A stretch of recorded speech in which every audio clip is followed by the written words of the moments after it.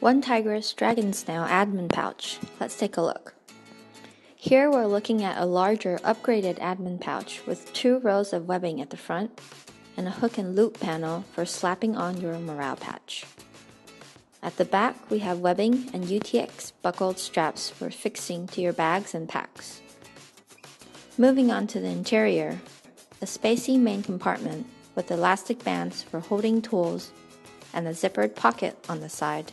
In the middle, there's a detachable Velcro backed map holder for holding documents and stationery, a highly ideal piece of kit for travelers. There are plenty of pockets for organizing your everyday carry, and everything is secured with snag free YKK zippers, making this EDC pouch a piece of gear you cannot miss.